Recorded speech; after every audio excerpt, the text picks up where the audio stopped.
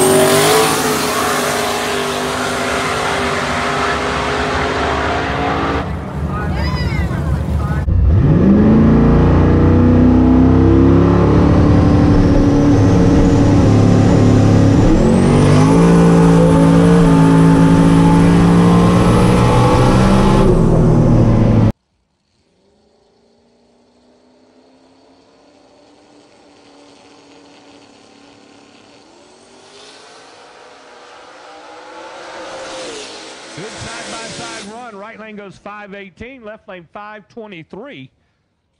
On the ladder, Lavender will be ahead. Go too fast to go to the bottom of the ladder.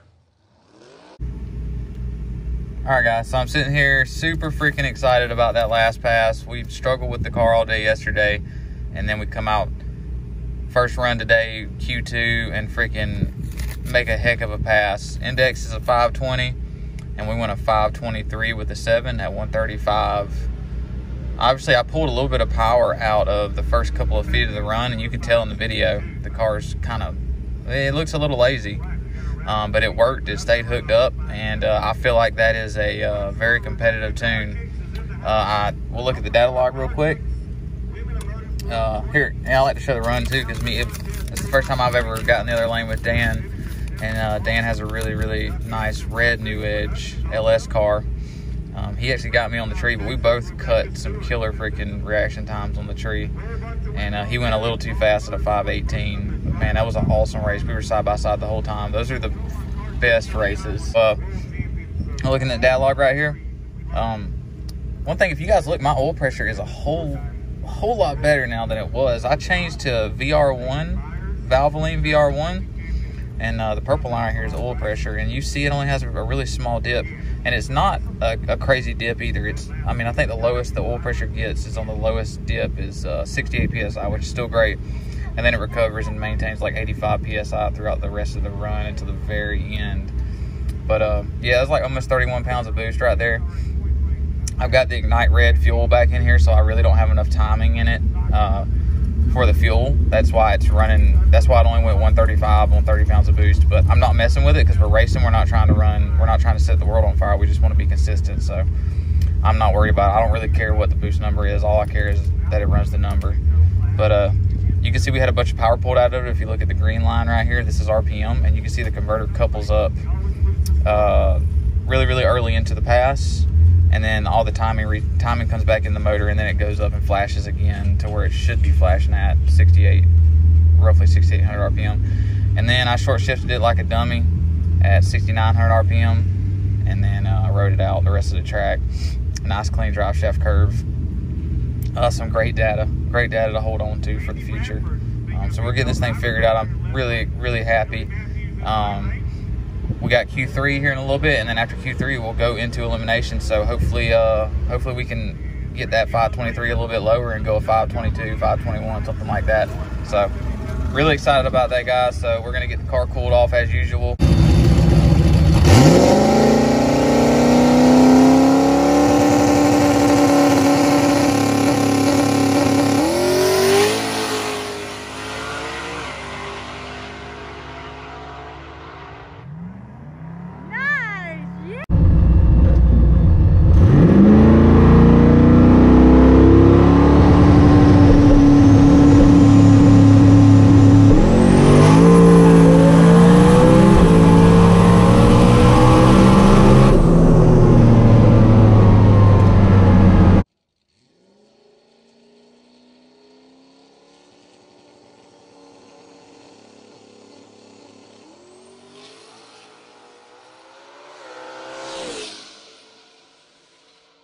Five twenty, five twenty, with an eight. Dead on with eight for Lavender. All right, guys. So we're back from that last pass, man, and it just keeps getting better. Um, I had a good feeling about today. I, I felt like that we were on the right track to getting this thing to work, and with a little bit of power management, man, it's it's on it, and the track is a little tighter today, so that's good. Um, the only thing I changed for this pass is I added one more pound of CO2, and I didn't short shift the car, and it went uh, 520 with an 8 at 136.2. I had a bad reaction time at that pass, which is not good. This field is extremely tight. There's like four or five cars that have been a 520. So a lot of this racing is going to come down to reaction time, and then guys not getting too greedy when the DA goes down. We're going to have to definitely watch the DA, and when it gets lower, I'm probably going to have to pull that pound of CO2 back off, or the car is going to break out. Um, but I'm pretty comfortable having that eight on the end of that right there for now. But if we uh, the air gets better, which it probably will when we go to e, uh, E1, we'll pull that pound of CO2 back off, and I'll focus on cutting a good light. Um, happy with that though, and uh, we'll take a look at the data log like usual. Um, let's get over here. Sat on the trans brake in about seven and a half, eight seconds. Got a little warm, but not bad. You see my initial flash when I was pulling timing, it only flashes to 5800 and then it the ramp comes out and it flashes the converter straight up to 6900. We're at 29 pounds of boost right there. Everything's looking good. Oil pressure's looking good. You know, we got a little, a couple more dips over here, but they're not substantial. I mean, you're talking the lowest dip I see right here once again is like 65 psi, and it recovers real quick. And by the end of the run, we're uh, we're back up to 83 pounds of oil pressure. So oil pressure's good. I'm really happy with that.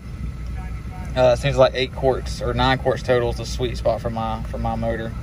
We're just going to change it more often to keep the E85 out of it. but nice clean drive shaft curve. You guys probably saw a little bit of uh, wheel speed on that shift right there. The car did move around just a little bit, but it was nothing crazy. It was a nice, smooth, clean pass. I actually shifted it on the money at 8,000 RPM, and it drops to 6,700.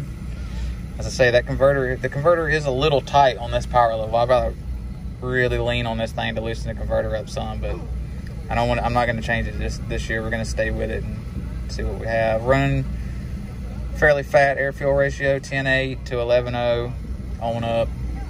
Closed loop's pulling a little bit of fuel, but the car is nice and safe, and that's what I'm happy about. It's nice, safe, and dependable, reliable. Extremely happy with it. So we got to figure out where we fall on the qualification ladder and see who, who we have first round. There was a little bit of rain out here earlier, which it seems to be drying up. I think they're about to send guys back down the track, hopefully, and uh, and hopefully we can get up there and uh, and do good in, in uh, E1. So we'll see how it goes.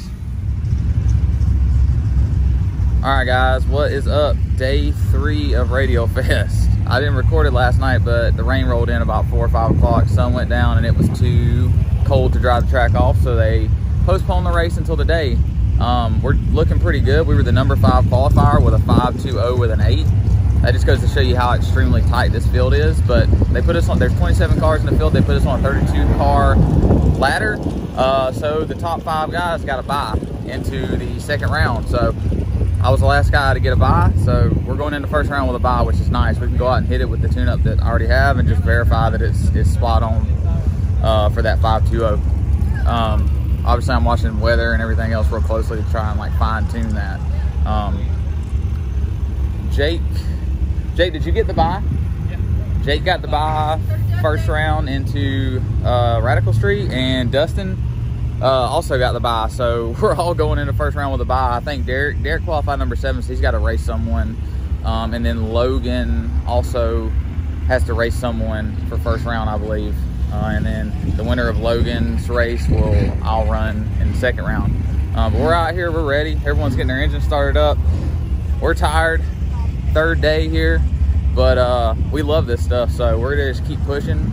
We didn't come here to give up or quit because we're tired. We're gonna keep going, and we're gonna we're gonna freaking we're gonna try our best and try to win this thing, man. I'm, I'm not gonna go down without a fight. So we're excited, getting everything ready. They're gonna start calling us up for round one here in probably the next 30 minutes or so. We're gonna get up there and knock this first round out and go on from there.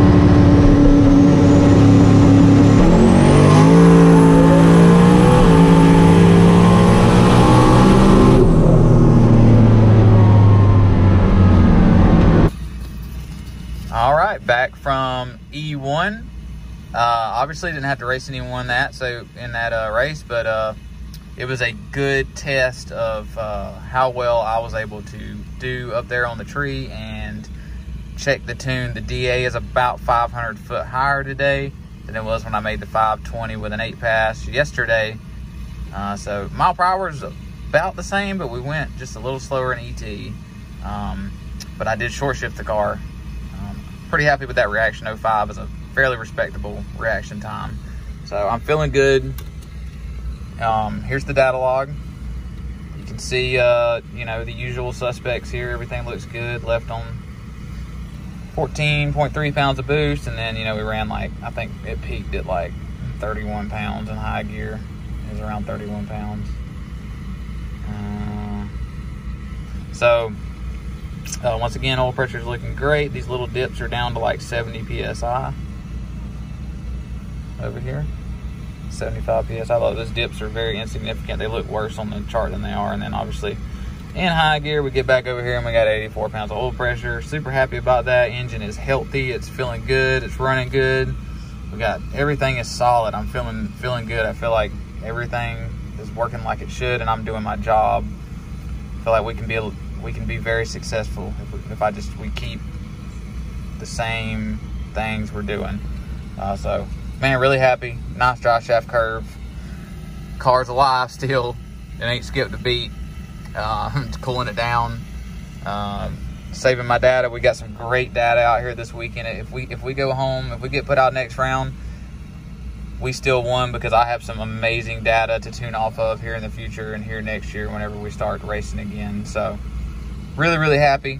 Um, we got the guys up at Radical Street right now, and uh, and then we'll just be waiting around, cooling down for uh, E2, and we'll see how that goes.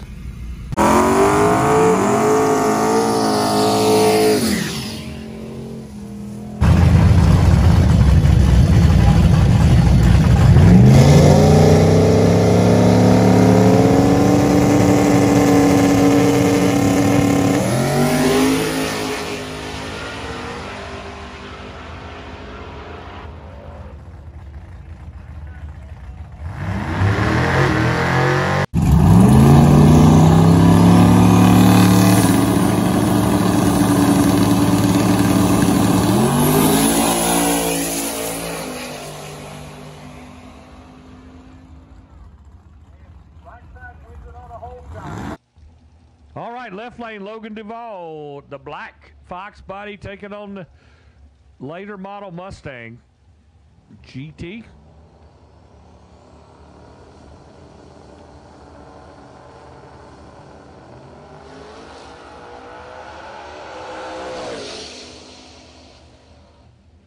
And right side wins it on a hole shot. 42 on the tree. Oh man, I'm so excited, guys. I had no idea who won that race. It was so close. Um, I knew Logan was going to give it everything he had, and he sure as heck did. He was 5.20 with a 4 on a 520 dial. Um, I got him pretty bad on the tree, so I was out ahead of him, and I actually let out before the stripe because I was worried the car was going to break out, which is dumb. I should have known my car wasn't going to break out, but I was still nervous, so I was ahead, so I let out. As soon as I let off, he was like right there on me, and I wasn't paying attention to who got the wind light, so it was like I was freaking nervous as heck uh, to get my time slip when I got, and I saw him hand me the white one, and I was extremely happy because Logan was not messing around. He was tough competition. So um, we got the win.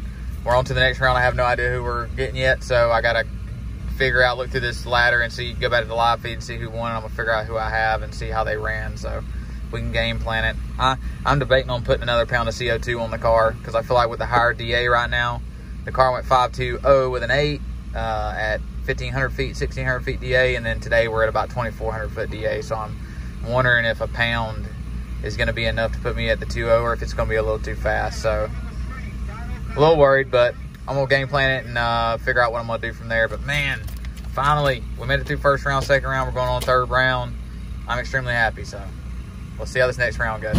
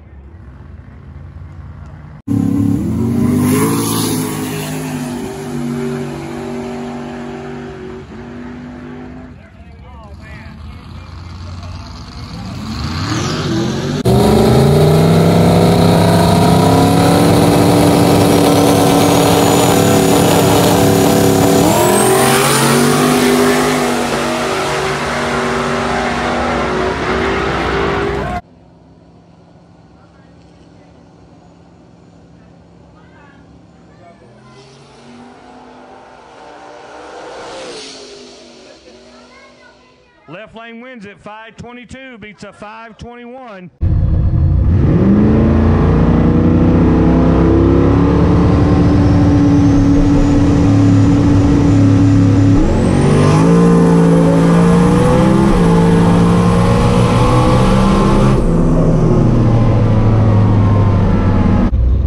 Fuck yeah. Thank you. I'm slow, dude.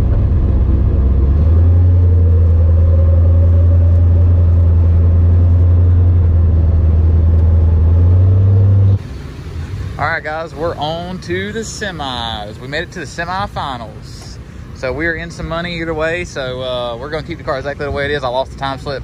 I'm a dummy. I was over here excited, but getting it cooled off, making sure the battery's staying charged because I want to turn the car around quick. I'm going to get it nice and cool so it's less heat in it when I come back from the next pass. If we do win, we can cool it off again. So we always got a game plan on what we're going to do. So uh, we're excited. We're to go up here and uh, we got we're in the semis, so it's tough, man. There ain't no fucking around in the semis.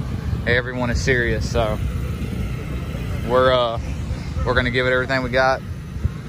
You know, and uh, we're gonna see how it goes. You know, little small time uh, deal we got going on out here. You know, doing it out of the garage, right here, competing with some pretty big, some pretty big uh, dudes that race a lot and are fucking are really really good. So I'm I'm extremely grateful and excited and just man, let's see how this next round goes.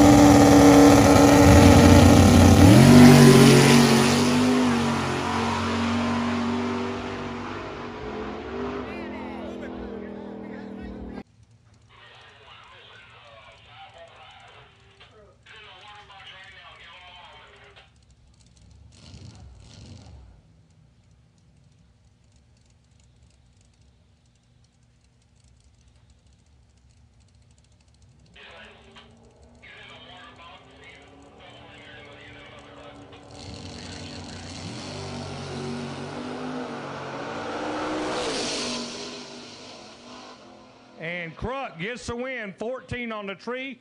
Goes dead on with a two. Nice, nice, nice 16th thou package. Lavender was 27 and four over for the loss.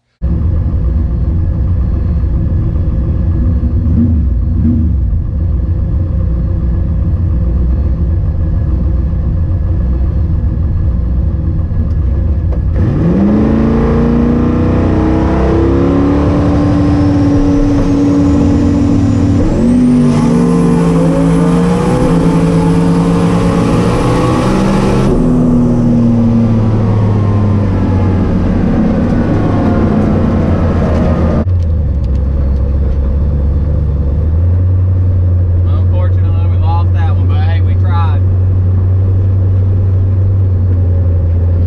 We tried. All right, guys. Sorry it's dark. Um, sun went down real fast. Uh, the semis were almost at sundown. So uh, you guys saw how that pass went. Um, I went my best reaction time all weekend. I went .02 something on the tree. I don't have the time slip. I was it was a yellow time slip. I was kind of bummed. I just threw it in the car. Um, man, the other guy that I there he put together an almost perfect pass. He had a .01 reaction, and he went 5.20 with like a four against me. So there wasn't a whole lot I could do besides just run better. And my car went four numbers too slow and went a 5.24. So I mean, it is what it is. We competed with some some very uh, very very competitive, good heads up racers, and we made it to semifinals. So I cannot be more thankful and more grateful for that. And we learned a lot. And like I told Derek a while ago, we learn every time we come to these races, and we get better and better. And we're only gonna get better from here. So, um, excited, guys. That's gonna end the video. I had a great weekend with everyone out here. Um, our whole team, our whole group over here was awesome, and we had a great time. Um, stay tuned, guys. We are going to Holly Springs this coming up weekend. The Fall Brawl. We're gonna run Mean Street there, and that's gonna be our last race of the year. So we're excited. You know, but uh, that's gonna be it for this one, guys. I'll see y'all later.